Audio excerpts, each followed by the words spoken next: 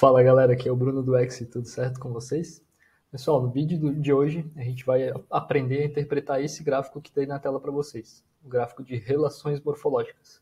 Então curte, comenta, compartilha o vídeo e depois da nossa vinheta a gente começa.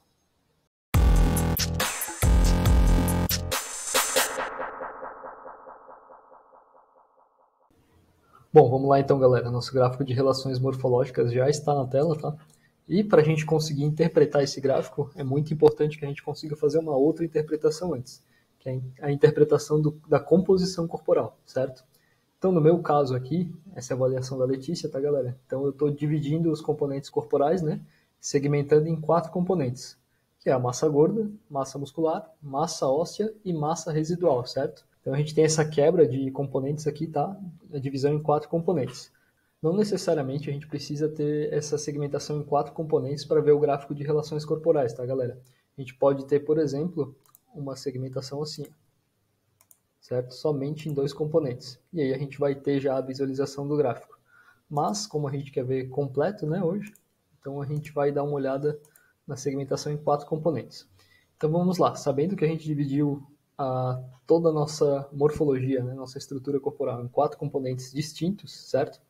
Agora a gente consegue fazer é, cálculos com eles, né? Então, um dos que podem ser feitos são os cálculos de relações morfológicas, certo? O que, que acontece aqui, galera? A gente vai pegar um componente, certo? Por exemplo, massa muscular, e vai dividir pela massa gorda, certo? Isso vai dar um número. E esse número é o que vocês estão vendo aqui no, na pontinha do gráfico, né? na parte superior do gráfico. Então vamos lá, como é que a gente interpreta esses números? Vamos pegar o nosso primeiro gráfico aqui e destacar ele, né? deixar só ele na tela. Desse gráfico aqui, galera, a gente pegou dois componentes da composição corporal, a massa corporal magra, ou seja, tudo que não é tecido gordo, e junto e dividiu pela massa gorda, certo? E aí deu esse valor aí pra gente, de 2.7. Então o que, que isso quer dizer, né, galera? Isso quer dizer que para cada 1 kg de massa gorda, a Letícia aqui ela tem 2,7 kg de massa corporal magra, certo? Ou, traduzindo de outra forma ainda, a Letícia tem duas vezes, 2,7 vezes mais massa corporal magra do que gordura no corpo. Então, galera, continuando aqui com as outras informações desse gráfico, né? O próximo aqui, com a nossa barrinha verde, a gente tem a relação massa muscular e massa gorda, ou seja, pegamos o componente da massa muscular isolado e dividimos pela massa gorda, certo? Então, é, a Letícia aqui, ela apresenta 1,4 vezes mais massa muscular no corpo do que massa gorda, certo? E assim segue para os outros componentes, né? Essa aqui é a relação massa muscular-massa óssea, certo? E por último aqui é uma relação que é uma novidade aqui no, no X, né? Que é, a gente pensou aqui para pôr no X, que é a relação massa gorda-massa óssea, né? Bom, então, galera, o que, que a gente pode pensar com esses índices aqui, né? É, olhando, por exemplo, para o aspecto biomecânico, né? o aspecto motor. O que movimenta o nosso corpo, né, galera? É, o, a massa responsável por movimentar o nosso corpo são os músculos, certo? O, a parte que faz o movimento, o movimento, né, unidade contrátil ali, e as nossas alavancas fixas, né, são os ossos. Então, esse, esse sistema de contração é o que gera a nossa locomoção, certo?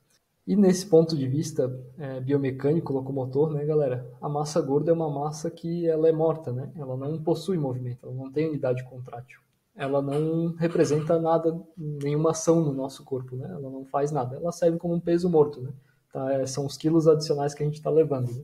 Lembrando que é só nesse ponto de vista biomecânico locomotor, né? Porque se a gente pensar na energética ali, né? Na parte de energia do corpo, é a massa gorda serve como estoque de energia, né, galera? Mas enfim, então pensando nesse contexto de olhando para a parte de movimento, é, esses, ah, esses dois índices, principalmente, né, galera, são bem legais da gente analisar, porque daí, por exemplo, com massa gorda e massa óssea, a gente vê é, qual é a sobrecarga que está tendo sobre o nosso corpo, né? Então, quanto mais alto esse índice, mais o nosso corpo está sofrendo para fazer o movimento, certo? Porque ele está é, tendo que gastar mais energia para se deslocar, né? Está carregando uma massa inútil ali, se tratando da gordura, né? E quanto mais alto esse índice aqui, de massa gorda, massa muscular, é mais fácil a gente faz o movimento, né? Mais tranquilo vai ser para o nosso cliente se locomover e fazer as ações do dia a dia, né? Menos impacto articular, maior chance de não sofrer uma lesão, né? Preservar as nossas articulações e todos, ou, todas as outras características é, biomecânicas locomotoras aí que a gente conhece dentro da, é, da nossa área de estudo, né, galera? Então, isso também é um negócio bem legal para analisar com esses índices. Então, galera, é, tem um detalhe desses índices aqui também, que a gente não tem um trabalho ainda, a gente não encontrou um, um trabalho que analisa, né, é, como se fosse o percentual de gordura ali, o que, que é um índice bom, o que, que é um índice ruim, certo? É, então é um negócio um pouco subjetivo, assim, certo? É, o que eu posso falar para vocês é que, por exemplo, esses índices que incluem massa corporal magra e massa óssea, em atletas a gente vê ele muito disparado, né? Passando do 10 ali, passando do 13, por exemplo. É, em pessoas mais comuns, digamos assim, né? Que não é, que não tem o, o, perfil de atleta, a gente encontra valores legais ali perto dos 5, 6, até 7, 8, assim, a gente vê de vez em quando. Beleza, galera? Então essa foi a interpretação desse gráfico, né? E claro, esse gráfico aqui de relações morfológicas, a gente pode ver a evolução dele aqui também, né? Então a gente pode, logo abaixo, tem todas as é, evoluções aqui da Letícia, né? Todas as avaliações que foram feitas. E aí a gente pode ver o comportamento desse, é, dessas relações, né? Entre as avaliações. Isso também é bem legal, porque a gente vê o quanto a gente, é, o quanto o avaliado de vocês vai perdendo de um componente e ganhando do outro, certo? E como é que isso se comporta ao longo do tempo, né? Então, olha só, a gente pode ver que no dia 4 do 11 aqui, possivelmente deu uma disparada na massa muscular da Letícia, né? Então, foi onde ela teve maiores ganhos aqui, certo? Enquanto aqui ela já deu uma reduzida né? nessa relação entre massa muscular e massa gorda, né? Então, é um componente bem legal, é, um, é mais uma estratégia bem legal para vocês utilizarem, para vocês acompanharem e apresentar para o cliente de vocês, né? Beleza, galera? Por hoje era só. Qualquer dúvida, ponha nos comentários que a gente, se precisar, faz um novo vídeo para esclarecer, né? Ou qualquer coisa, chama nosso suporte lá que a gente está sempre à disposição. Valeu, galera. Até a próxima.